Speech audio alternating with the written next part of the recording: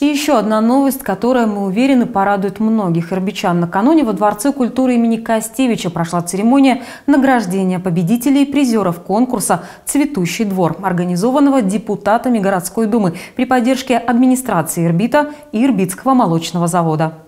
Частью вечера наравне с вручением призов стало общение с главой города, в рамках которого председатели Советов жильцов смогли задать Николаю Юдину вопросы, волнующие их сегодня. Тем коснулись многих – освещение и ремонт улиц, обрезка тополей, благоустройство дворовых территорий, развитие социальной инфраструктуры города. Именно здесь не обошлось без приятного сюрприза. В присутствии собравшихся глава муниципалитета Николай Юдин и генеральный директор Ирбитского молочного завода Сергей Суетин подписали соглашение о совместной работе по проектированию проектированию и строительству в поселке Комсомольский физкультурно-оздоровительного комплекса. Это, еще раз повторяю, не какая-то предвыборная акция, это осознанное решение. Почему? Потому что вы знаете о том, что все, что мы делаем, это направленное в том числе и потому, что мы хотим, чтобы город стал лучше,